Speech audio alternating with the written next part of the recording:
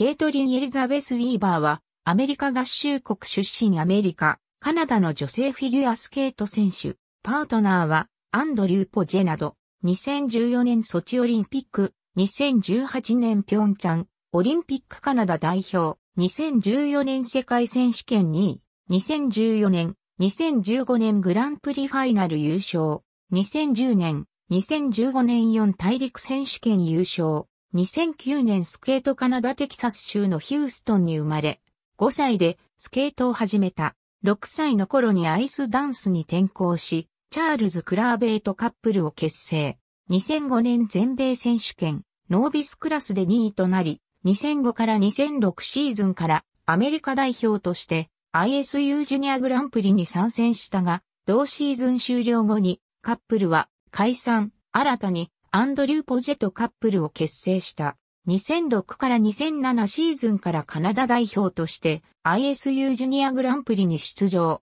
JGP 台湾杯と JGP リベレツで共に3位となり、2007年カナダ選手権にはシニアクラスで出場して3位となった。この結果により、シニアクラスの2007年世界選手権とジュニアクラスの世界ジュニア選手権代表に選出された。世界ジュニア選手権では初出場ながら3位となったものの、世界選手権では20位に終わった。2007から2008シーズンからシニアクラスに本格的に移行し、ISU グランプリシリーズに参戦。2008年カナダ選手権では2位となり、2008年世界選手権及び2008年4大陸選手権代表に選出された。初出場の2008年4大陸選手権では自己最高得点をマークし、5位入賞を果たした。2009から2010シーズン、グランプリシリーズスケートカナダで3位になりシニアの国際大会で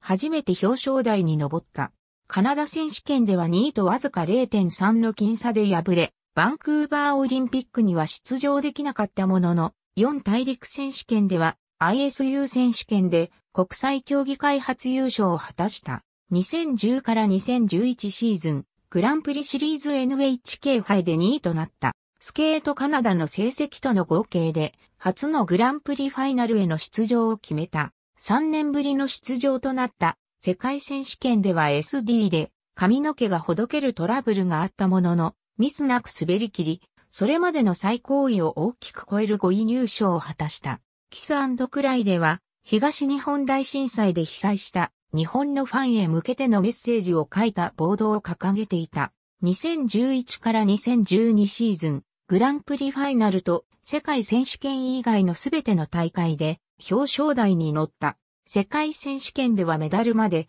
あと一歩の4位になり、昨年よりも一つ順位を上げた。同シーズンより同じパスカーレ・カメレンゴとアンジェリカ・クリロワのもとに移籍したナタリー・ペシャラ、ファビアン・ブルザが演技を終えた直後にはメダルを争っていたのにもかかわらず、彼らのもとに駆け寄り祝福のハグをした。2012から2013シーズン、グランプリシリーズでは2戦ともに3位で、3年連続のグランプリファイナル出場とはならなかった。12月14日の練習中に左足首を負傷したため、12月18日には手術を行った。世界選手権では5位、国別対抗戦には初出場で2位。フリーダンスの当日が誕生日だったため、会場からは祝福を受けた。2013から2014シーズン、グランプリシリーズでは2戦ともに2位で、グランプリファイナルでは5位となった。ソチオリンピックでは7位。世界選手権では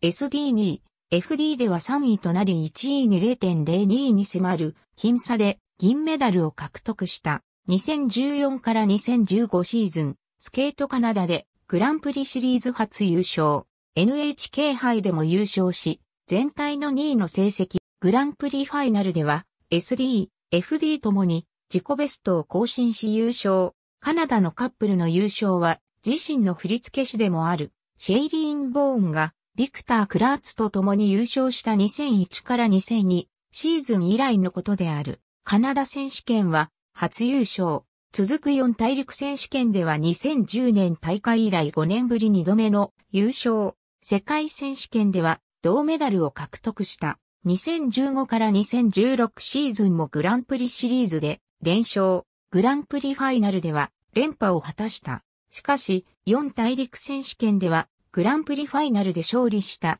アメリカの2組に敗れ3位、世界選手権では5位となり、3年ぶりに表彰台に立つことができなかった。2016から2017シーズンからはメインコーチをニコライ・モロゾフに変更した。2017から2018シーズン、スケートカナダでは2位。フランス国際では SD のシークエンシャルツイズルの失敗が響き4位となった。グランプリシリーズで表彰台を逃すのは7年ぶりとなる。カナダ選手権では、ボジェが SD のシークエンシャルツイズルで転倒し4位発進。FD で巻き返すも前年から順位を落として3位となった。ピョンチャンオリンピックは全大会と同じ7位。世界選手権では3年ぶりに銅メダルを獲得した。2018から2019シーズン、FD の演目に SOSD、ウンテリアン EN でトレスを選択した。これはデニス店主催のアイスショーに出演し、